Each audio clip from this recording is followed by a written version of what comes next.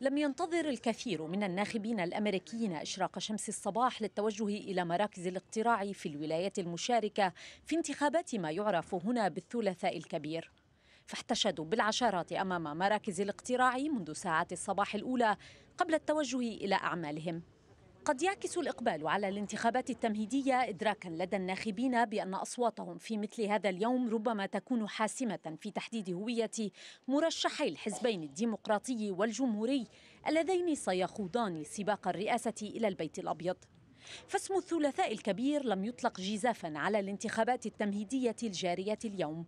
والتي تخاض في إحدى عشرة ولاية على مستوى الحزبين بينما يقترع الناخبون في ثلاث ولايات أخرى لصالح المرشح الجمهوري. ويختار الناخبون الديمقراطيون مرشحهم في جزر ساموا ربع الولايات تصوت يوم الثلاثاء الكبير. هذه الولايات تمثل أجزاء مختلفة من البلاد وستقرر عدد المندوبين لكل مرشح. وهكذا في محصلة هذا اليوم الانتخابي يضمن الفائزان من مرشحي الحزبين الديمقراطي والجمهوري مئات المندوبين لصالحهم خلال مؤتمري الحزبين الصيف المقبل. ولهذا فقد أمضى المرشحون الساعات السابقة وهم يجوبون المسافات الفاصلة بين الولايات المشاركة في الثلاثاء الكبير في محاولة أخيرة لاستقطاب الناخبين. أعتقد أننا سنحقق نجاحا يوم الثلاثاء. إذا توحد المحافظون سنتمتع بليلة جيدة يوم الثلاثاء. نتجه للثلاثاء الكبير. لدينا حظ جيد في مينيسوتا وحظ جيد في كولورادو وأوكلاهوما وماساتشوستس وفيرمونت. المنافسة المتوقدة بين المرشحين لم تغيب الزخم الذي يرافق حظوظ كل من هيلاري كلينتون على الجانب الديمقراطي ودونالد ترامب على الجانب الجمهوري في انتخابات الثلاثاء الكبير. فاستطلاعات الرأي تمنحهما فرصا أوفر بالفوز في معظم الولايات المشاركة. ولايات تكتسب نتائج الانتخابات التمهيدية فيها أهمية خاصة لأسباب عدة. إذ يعد الثلاثاء الكبير بمثابة اختبار لآراء الناخبين في الولايات الجنوبية المحافظة والتي يشارك الناخبون في سبع منها في الانتخابات بما في ذلك ولايات كبرى كتكساس وفرجينيا وجورجيا.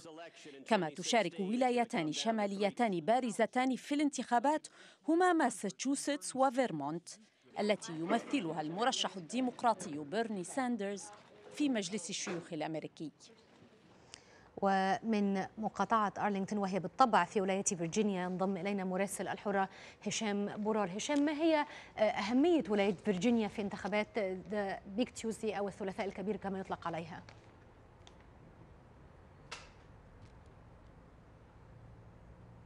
بكل هي من المندوب نفس عليه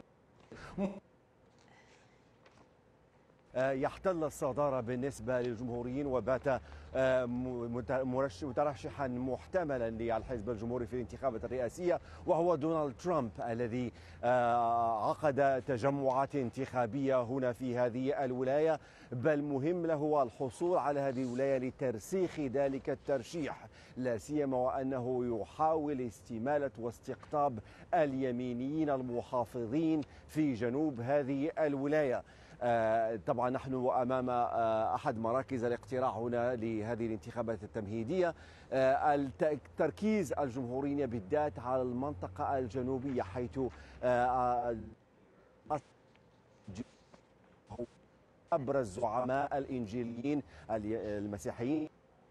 الذين يعول عليهم ترامب في دعمه بالمندوبين الضروريين للحصول على ترشيح الحزب. معلوم أن أهمية هذا الثلاثاء الكبير من تأتي من حيث عدد المندوبين المتنافس عليهم الذين يصل عددهم إلى 595 في هذا اليوم الواحد فقط يوم الثلاثاء الكبير كما يسمى. فبالتالي إذا حصل ترامب على عدد كبير من هذه الأصوات أصوات المندوبين فيكون بالفعل قد فرض نفسه. طبعا سيكون من المبكر الحديث عنه كمرشح للحزب لأنه لن يحصل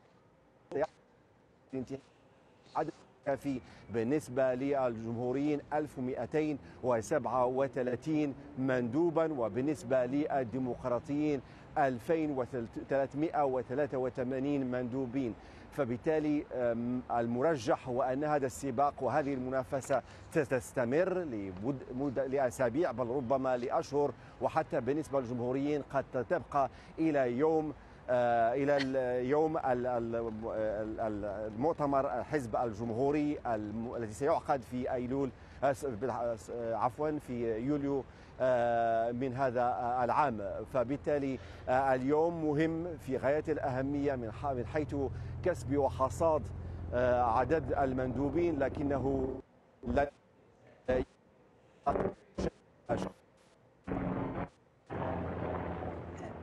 نعم أشكرك هشام برار على هذه المداخلة وبالطبع نعتذر عن هذا الخطأ التقني في الصوت والصورة.